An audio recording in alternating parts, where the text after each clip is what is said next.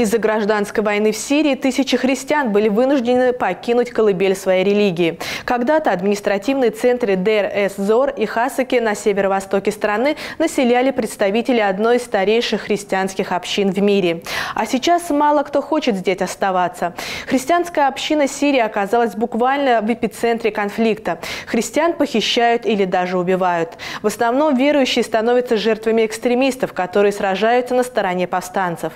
В июле в интернете появились шокирующие кадры казни 49-летнего священника Франсуа Мурада. Такой приговор ему вынесли члены группировки «Фронт Аль-Нусра». Незадолго до этого экстремисты выкрикивали «Аллах Акбар». Францисканца казнили за то, что он якобы сотрудничал с режимом Асада. Фронт Аль-Нусра поддерживает связи с Аль-Каидой и считается одной из самых опасных группировок, участвовавших в войне против войск Башара Асада, которого в свою очередь поддерживают шииты. Мусульмане-сунниты из фронта Аль-Нустра надеются создать в Сирии исламский халифат, где будут действовать строгие законы шариата. Сирийский конфликт унес жизни уже более 100 тысяч человек, и признаков того, что он стихает, пока не наблюдается. По мнению экспертов, в ближайшее время еще больше сирийских христиан покинет колыбель своей религии.